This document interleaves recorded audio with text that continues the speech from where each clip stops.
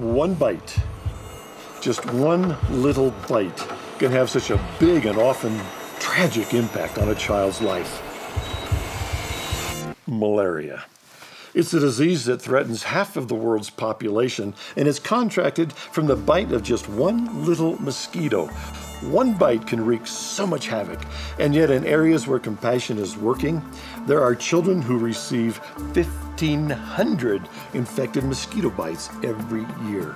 From Bangladesh to Brazil, Togo to Thailand, Nicaragua, Uganda, Sri Lanka, and all the countries in between, malaria is a very real threat to so many of compassion-sponsored children. And it breaks my heart that a child still dies of malaria every 45 seconds. And 90% of those deaths occur in sub-Saharan Africa, where I spent my childhood.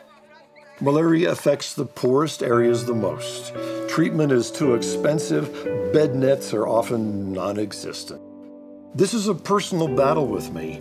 I grew up in that little village where malaria was a constant threat around us. The buzz of a little mosquito was not just an annoyance, it could be a death sentence, and we knew it as little children.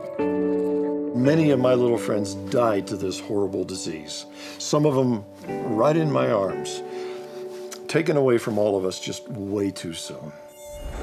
In Uganda, children walk to local watering holes to collect water, and these places are prime breeding grounds for mosquitoes. In northern Bangladesh, stunning, lush tea gardens cover the rolling hills. However, those who work among these plants in that beauty are at the greatest risk to contract malaria.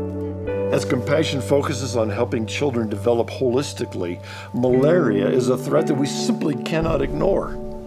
Every time a child gets sick, it will affect not only the child, but also the whole homestead. Uh, as for the child, that means they will not go to school, their school attendance will decline, and that will impact a lot on their performance. So you might ask, what are we doing about it? While around the world, Compassion Project staff and volunteers are educating families about how to prevent this disease. In villages in Bangladesh, a malaria prevention team teaches people how to keep mosquitoes away from their homes with tips as basic as just shutting the windows at dusk. In Uganda, people are meeting in classrooms and under shade trees to learn how to keep their families safer by simply cutting the grass away from their huts and throwing their rubbish further away from their houses. But undoubtedly, one of the most effective ways compassion is preventing malaria is through the distribution of bed nets. Did you know that the use of bed nets has been proven to reduce instances of malaria by 50%, cut in half? We have distributed already more than 15,000 mosquito nets to the community people. This year, uh, Compassion distributed over 27,000 mosquito nets to children. About 68% of all our children today have mosquito nets.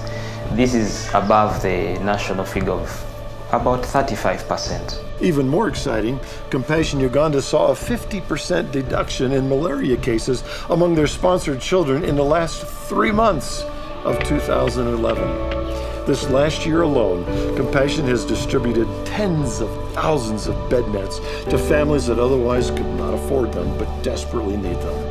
জন্য আমরা কিনতে পারতাম না আপনারা দিচ্ছেন যে অনেক ধন্যবাদ কারণ আমরা মেলেজা থেকে অনেক মানে ভালো সুবিধা পাইছি অনেক অনেক আপনাদেরকে ধন্যবাদ So through these efforts, more and more compassion children all over the world are having a much better likelihood of keeping their families safe from malaria, allowing these little ones to focus on things much more important, like going to school and playing, and all the other important parts of being a child.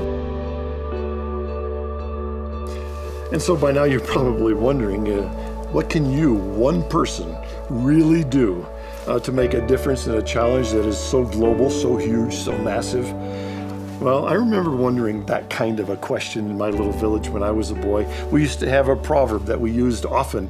If you think you're too small to make a difference, well, try sleeping with a mosquito in your hut.